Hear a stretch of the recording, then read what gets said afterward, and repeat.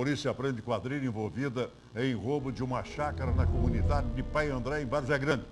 As vítimas foram amarradas, ameaçadas de morte e mantidas em cárcere privado. A reportagem é dele, o homem do chapéu, Giovanni Júnior. Nesse momento, a nossa equipe de reportagem acompanha o trabalho da Polícia Militar em conjunto com a Polícia Civil, onde um alvo será buscado na região do 13, onde Polícia Militar, Polícia Civil estão em busca de um crime praticado no município de Várzea Grande.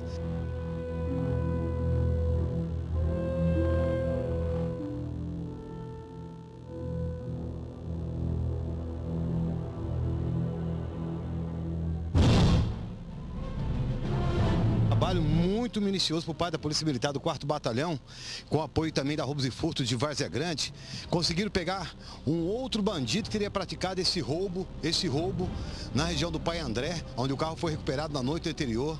Várias casas acabaram sendo revistadas de forma minuciosa e nesse momento o rapaz será apresentado aí na Delegacia de Polícia Civil. O senhor participou do roubo ontem, né moço? Participou não? Tem nada a falar não, senhor. E a casa dessa mulher lá que você estava lá, o que, que ela é sua? Hã? Aquelas roupas que você deixou lá para ela vender ou era presente? Hã?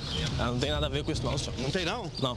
E por que, que você ameaçou o proprietário para ficar ali na Não casa? sei ninguém não, senhor. Não? Não. Mas você sabe que ele fez o que não devia, né? Sei. E você queria que ele respondesse junto com você pelo crime, pelo abrigo de criminoso? Não, senhor. Tá tudo certo? Certo. Polícia Militar, ela não para.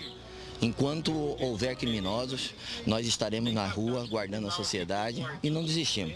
Até agora nós já temos aí cinco envolvidos, seis envolvidos e vamos à caça de mais um, vamos à busca de mais um. Explica pra gente o que aconteceu nessa chácara lá, coronel.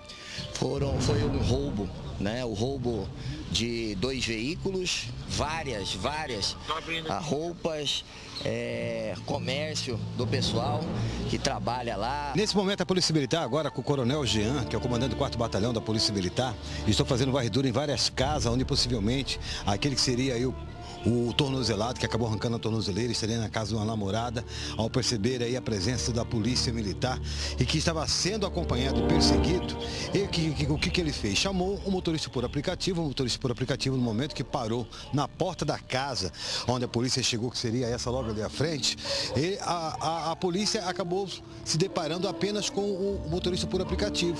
Então ele acabou pulando o muro dessas casas e todas elas estão sendo revistadas na intenção de pegar mais mais um elemento, mais um bandido, a qual participou diretamente desse roubo a uma chácara, onde toda a família acabou ficando em cárcere privado.